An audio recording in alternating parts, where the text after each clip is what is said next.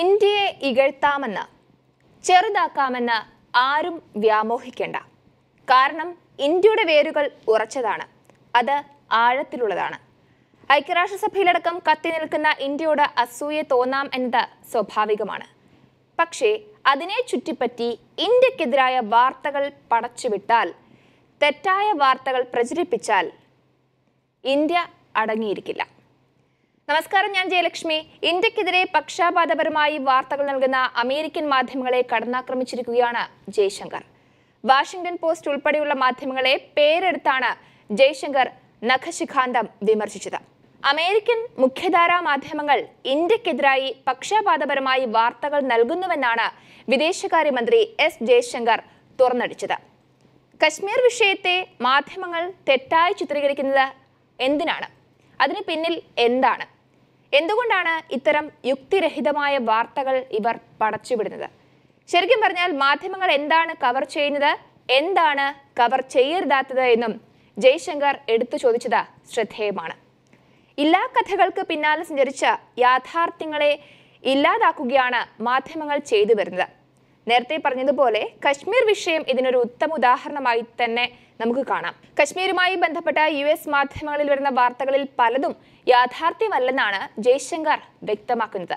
ഇന്ത്യയിലെ പല ആഭ്യന്തര പ്രശ്നങ്ങളും പല മുഖ്യധാര അന്താരാഷ്ട്ര മാധ്യമങ്ങൾ പെരുപ്പിച്ചു കാണിക്കുന്നത് മോശമാണ്.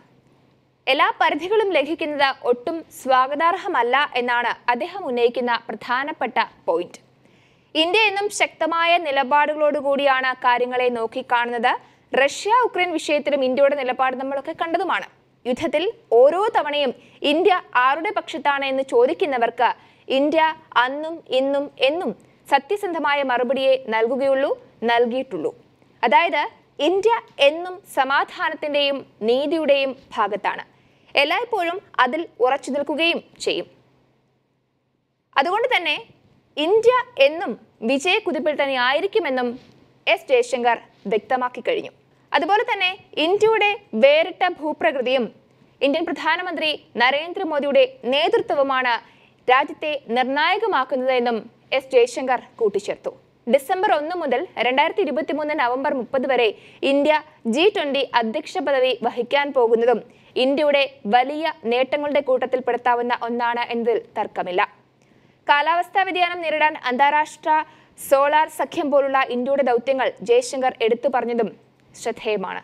അന്താരാഷ്ട്ര കടം സാമ്പത്തിക വളർച്ച ഭക്ഷ്യ ഊർജ സുരക്ഷ പരിസ്ഥിതി സംരക്ഷണം തുടങ്ങിയ വിഷയങ്ങളിൽ ജി ട്വന്റി രാഷ്ട്രങ്ങളുമായി ഇന്ത്യ കൈകോർത്ത് പ്രവർത്തിക്കും എന്നതും എടുത്തു പറയണം. ദീർഘവീക്ഷണമുള്ള പ്രധാനമന്ത്രി നരേന്ദ്രമോദിയുടെ ഊർജസ്വലമായ നേതൃത്വത്തിൽ ഇന്ത്യ വികസനത്തിന്റെ പാതയിലാണ് എന്നും എസ് ജയശങ്കർ കൂട്ടിച്ചേർത്തു. അതുപോലെ തന്നെ രാഷ്ട്ര പുരോഗതിക്കായി എടുത്ത അഞ്ച് പ്രതിജ്ഞകളും എസ് ജയശങ്കർ ആവർത്തിക്കുകയുണ്ടായി.